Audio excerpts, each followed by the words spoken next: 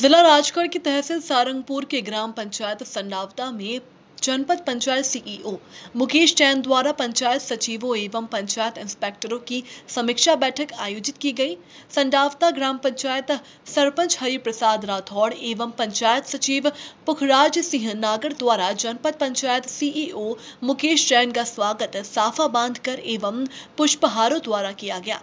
इस अवसर पर panchayat inspector Hariom Sharma APO Neetu Pal, STO engineer Kripal Porwal एवं समस्त engineer ADEO PCO Sandawata sector के पंचायत सचिव एवं जीआरएस सहायक सचिव आदि उपस्थित रहे।